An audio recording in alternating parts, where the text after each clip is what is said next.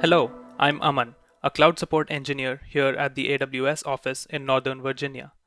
Today I'm going to show you how to resolve an issue when, after increasing the size of an Amazon Elastic Block Store volume, the change isn't reflected in the operating system or disk management. We'll do this by extending the file system size through logging into the instance. Let's get started. Modifying an Amazon EBS volume requires two steps.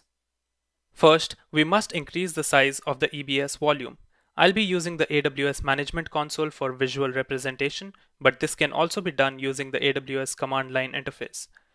It's a best practice to create a snapshot of the volume so that you have a consistent backup of the file system before proceeding. After logging into the AWS Management Console, navigate to the Amazon Elastic Compute Cloud console. Then select Volumes under Elastic Block Store. Now select the EBS volume that you want to increase the size of and then choose Actions, Modify Volume. This is the Elastic Volume feature of Amazon EBS that allows you to dynamically increase the size, change the volume type, or adjust its performance without detaching the volume or restarting the instance. Increase the size of the volume to a desired value and choose Modify. When prompted for confirmation, choose Yes. The new volume size is available for use as soon as the volume enters the optimizing state. The second step, and the reason for this video, is extending the volume's file system at the operating system level to use the added storage capacity. For this, you must first log into your instance using SSH for Linux or RDP for Windows. We'll look at both these platforms.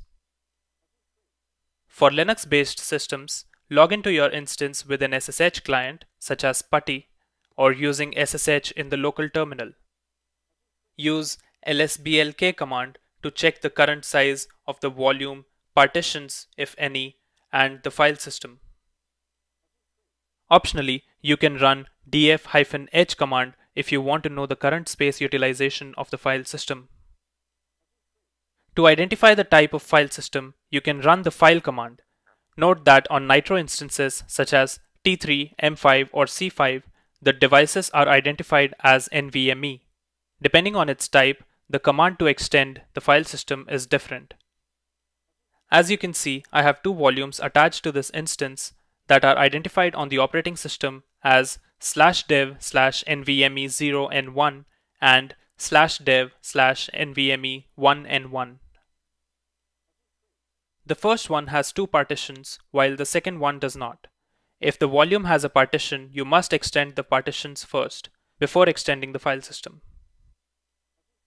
To extend the partition size, we can use the growpart command like this. And then run lsblk again to confirm the extended partition size. We are now ready to increase the file system size. Both file systems on these volumes are of different types. For ext2, 3, and 4 file systems, you can run resize2fs command, while for XFS file systems, first install the XFS tools and then run XFS growfs. You can confirm the extended size by running df-h command.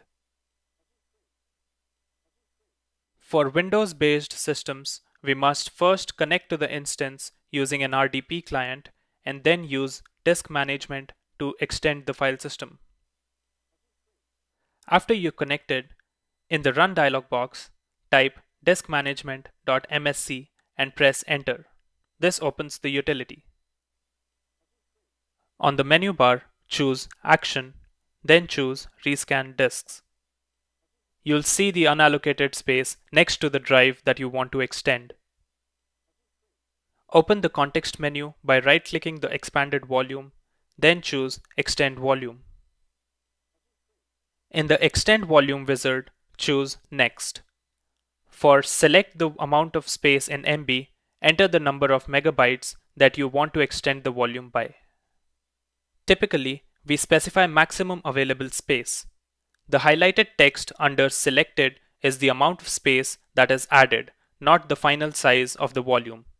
Complete the wizard.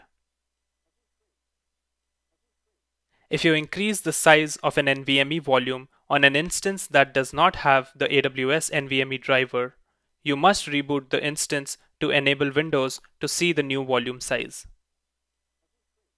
Thanks for watching and happy cloud computing from all of us here at AWS.